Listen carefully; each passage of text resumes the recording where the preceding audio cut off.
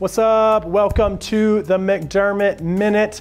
Weekend before last, we had a very successful trip down to South Texas, Mexico. We had some of our church family deliver some gifts. So, big shout out and thank you to those of you that delivered uh, those gifts and then also donated special gifts and donate on a weekly basis. You made that trip possible. So, thank you.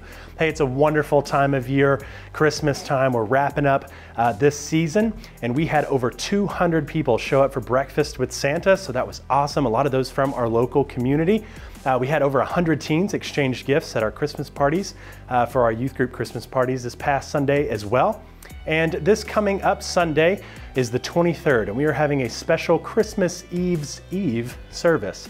And so we will see all of you at 5:30 p.m. in the auditorium. Looking forward to it. There's going to be cookies and cider afterwards. It's going to be a good time.